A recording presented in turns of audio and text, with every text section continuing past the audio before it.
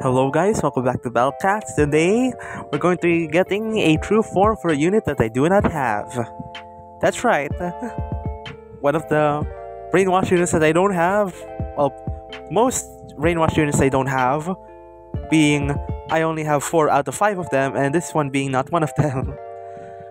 so yeah, this stage was relatively easy in my for me because I have a really good meat shield being um, brainwashed brainwashed Mohawk, which has dodge Aku, which is an insanely good trait for this specific sage. And as you can see from the gameplay here, it helped a lot. It helped a lot. It also helped a lot that I have um, Phonoa. Yeah. Anyways, I hope you guys enjoyed the video, and I'll see you guys next time. Peace.